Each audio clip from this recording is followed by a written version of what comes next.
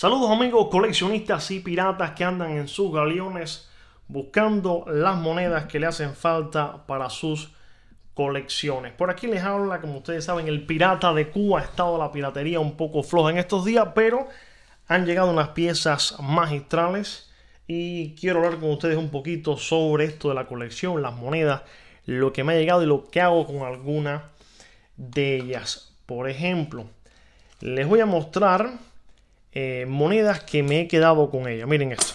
Usted dirá, pero ¿qué, ¿qué es esto y cuántas son?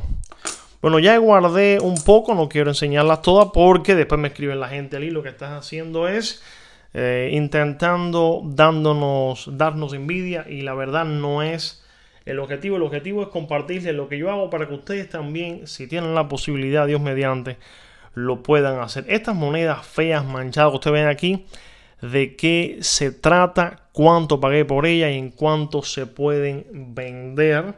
Al igual que estas otras que están aquí. Son dos piezas más y se la voy a estar mostrando. Pero antes quiero que chequee este libro, Manual de Reales. Este es un manual que tiene dentro monedas de 8 reales, desde los columnarios hasta Fernando VII y está en la plataforma de Amazon por 70 dólares. Eli, estás loco, con eso me compro yo. Bueno, con eso te compras, pero mire usted qué magistral, qué pedazo de libro. Mire el interior usted. Disfrútelo para que tenga una idea de qué se trata. Mucha gente me ha preguntado, Eli, ¿tiene precios dentro? Pues no, aparece información de lo que es eh, las piezas que hicieron, cuántas hay, cuáles son raras, cuáles no. La información que a los coleccionistas nos hacen falta. Eso, ese libro, ¿lo hiciste tú solo? Pues no, este libro lo hizo Drake, el capitán Drake, y este que le habla el pirata de Cuba, con ayuda de otros piratas por ahí infiltrados, que en su momento se le dará crédito si ellos me dejan darlo, si no, pues no. Pues bueno, seguimos y arrancamos con esto. Miren ustedes, esto es un 50 centavos de Cuba de 1953, ¿verdad? Una de las monedas más lindas de lo que es la colección de Cuba. De estas piezas me llegaron eh, unas 38, más o menos. Solamente le voy a enseñar esta. Y a veces se consiguen a buen precio y a veces se ponen a precio de dinosaurio en extinción pero más o menos esta es la condición. Son monedas sin circular, muchas de ellas, pero que venían con un ferrumbre raro que para quitarlo es complicado, pero se quita. Según me han dicho, con acetona y un poco de moco de mono se quitan y quedan bárbaras. También este magnífico peso, miren esto. Esto es un peso de estrella 1933.